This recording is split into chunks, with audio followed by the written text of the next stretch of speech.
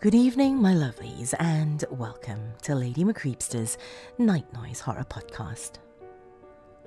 Today we have a tale from Creepypasta Wiki by author violetface. Before diving in, though, my dears, I'd like to take a moment to thank my dark family on Patreon for your support.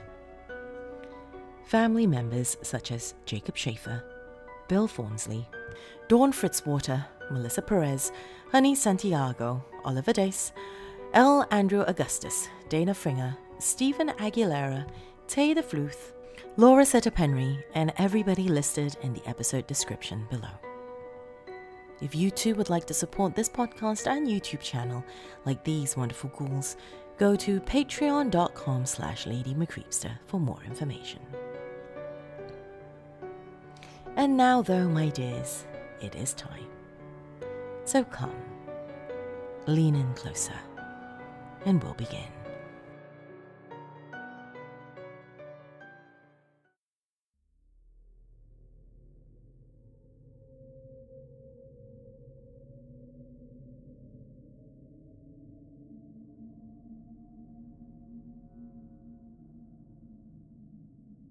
Someone near me was crying.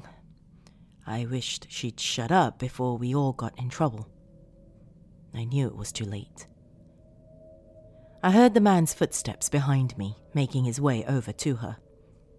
I stared hard at the wall in front of me. I flinched when he hit her. He'd already hit me so many times, the sound was too familiar, the sting on my cheek. So many blows, they all began to blend together. Already I was growing numb. There were six of us, all girls, crammed in the back of a U-Haul. Four blondes, two redheads, I suppose we were the most desirable, and a man. He was some big burly guy I had never seen before. His job was to keep us in line, keep us from making any sounds as we drove around. Even bound and gagged, I suppose we could have made enough noise to draw attention. Maybe all six of us together could even have taken our lone guard. Maybe even the driver. But I had seen the other girls. I had seen their dull expressions as they forced us into the truck. I had seen their slumped posture, bruised bodies, deadened eyes. These girls had given up long ago. Maybe I had too. It had started at the mall. It was the first time my parents had let me go with just my friends, Jessica, Maddie, and I. I having just turned 16, Jessica and Maddie were only slightly older. There was a man, Maddie saw him first, watching us from across the store. We were browsing earrings in Hot Topic or some other, I don't remember. Look, Kayla, she had said, you've got yourself a fan club. I smirked, though the man made me uneasy. I could feel his piercing gaze, even through his aviators. He was a smooth guy, I'll give him that. I suppose he had to be. You're a very beautiful girl, he said, just straight up like that. I should have ran right there. I should have smashed his face in. Maddie and Jessica were just a step away. I tried to reach out to them, turn to them for help. He held me back by my elbow. A strong grip, and yet so relaxed in his posture. I should have yelled. Maddie was smiling, a cocky smile. It scared me. Listen, said the man. I can hook you up. I can make you famous. He nodded at the Victoria's Secret on the other side of the mall. Wouldn't you like to be like that? The front of Victoria's Secret was plastered with larger than life posters of models, all very beautiful women. You could be like them. You're a very beautiful girl. I can't, I said. I have to go. Maddie looked disappointed. Jessica looked at her feet. Maddie moved closer to me. Please save me. Could I be like them? Maddie asked. I pulled away from the man. He smiled. Yeah, he said. Yeah, I think. Actually, why don't all three of you come with me? I'll hook you up. It was a very wide smile. Too calculated. Maddie pushed me to follow the man. You're being ridiculous, she hissed at me. Didn't you hear about Katie's sister? She was discovered at a mall too. Actually, I think it was this mall. Jessica nodded. It was true, after all. I had heard that story repeated many times in school. I thought then that maybe I was being ridiculous. I thought a lot of things. The man was leading us to the nearest exit. He told us his co workers were waiting there. They could get us a contract. It was one of the lesser used exits of the mall. We passed only a few onlookers. His co workers turned out to be men like him, older than us, but still young enough to be attractive. The fattest of them looked up as we approached. Let's go out to the car, he said. I've got some forms you can look through. It was dark outside, cold and quite deserted. I tugged Maddie's arm, but she only scoffed at me. The hell were we getting ourselves into? The men asked our ages and seemed uneasy at the responses. One of them said we should have been older, but the one who had discovered us silenced him with one word Rico. I did not know who Rico was then, but I do now. Rico was driving the U Haul with six unwilling passengers. I was staring hard at the wall of the truck. There was nothing else I could do. When the truck stopped and the back thrown open, a horde of burly men jumped aboard. They grabbed us and pulled us into a building, some warehouse, I think. I did not struggle as I had before. None of us did. We were broken. I don't know how many days we were kept in the warehouse.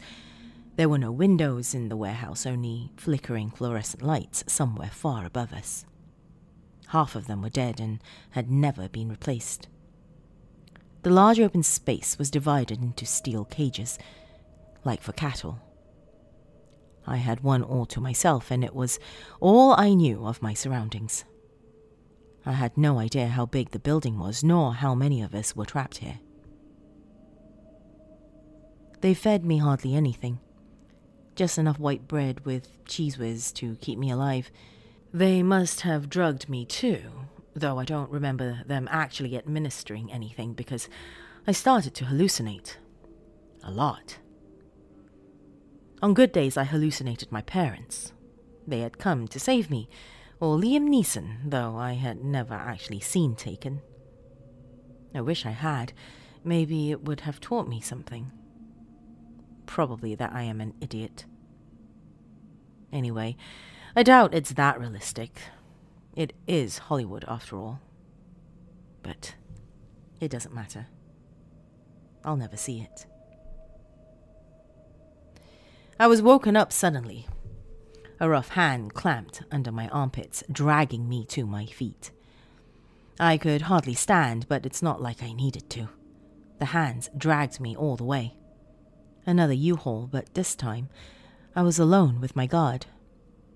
Thankfully, he seemed very bored and uninterested in me. At the next stop, I was given a bath.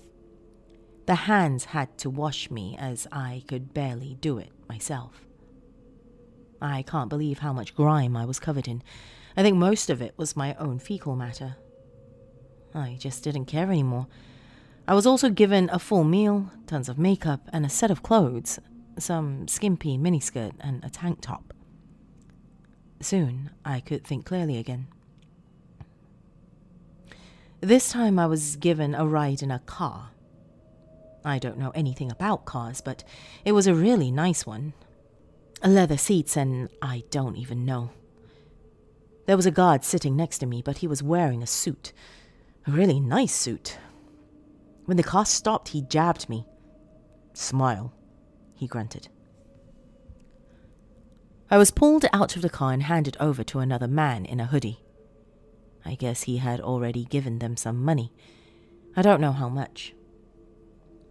The new man led me into a house. From the outside, the house was just an ordinary house. It looked no different than any of the other houses on the street. Even the lawn was freshly mowed and the garden was well tended to.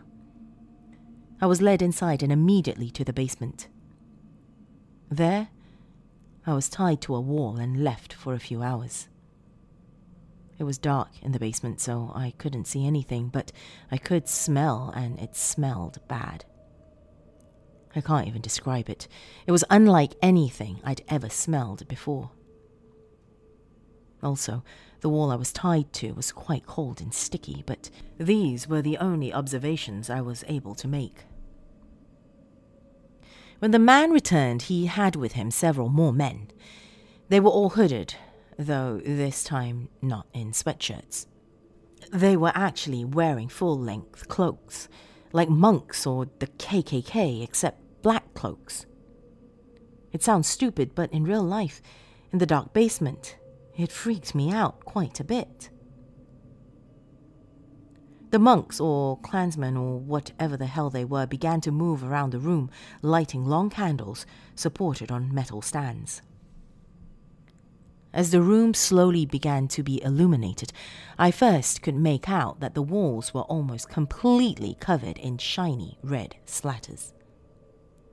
I suppose that would explain the stickiness. On the floor in front of me were two stone tables. One was quite large and the other rather small.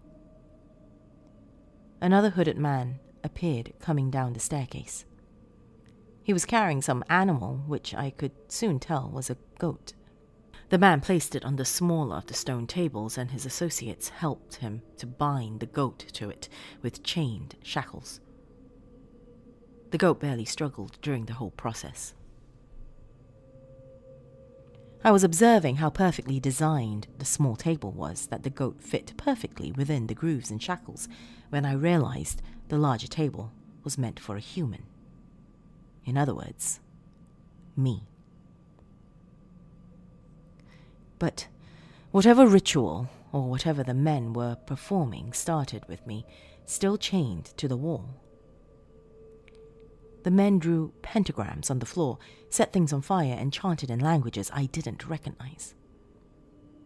The room grew smoky fast, and I began to fade back into my usual hallucinations. But just before I went out completely, I made out one of the men raising a dagger high in the air.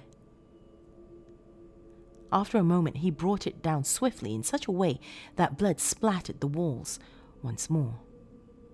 The goat was gone, and I, mysteriously, was still alive. When I came to, the basement was dark again. From what I could tell, the basement had been cleared out of all animal carcasses, pentagrams, and other humans. I was to stay tied to the wall for a few more days. The man who had brought me fed me every couple of hours, but other than that, I was left alone. He rarely talked, but I was able to learn from him that his friends had decided I was not ready yet. I was also pretty sure he was trying to fatten me up. Obviously, his plans for me were very different from those who had held me before. One day, or night, I couldn't tell, I could hear a lot of commotion upstairs. I knew this was it. I was so far gone I didn't care anymore. It was simply a fact of life. However, when someone finally came down the stairs, he was not wearing a cloak, nor was he carrying a goat. He was carrying a large black flashlight and wearing a police officer's uniform. Another hallucination of mine. I knew it. Hello? said the hallucination. Anyone down here?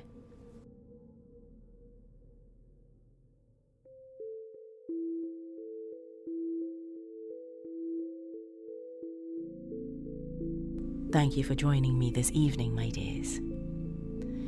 If you're watching this on YouTube and enjoyed the tale, please do remember to give this video a thumbs up and leave me a comment below.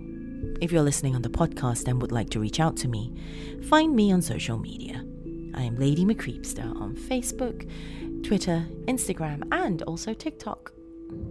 If you have a story suggestion for this channel or have an original story of your own that you'd like me to consider for performance, send it to lady.mcreepsta at gmail.com. Unfortunately, my dears, that is all the time we have this evening. Till next time, sweet dreams.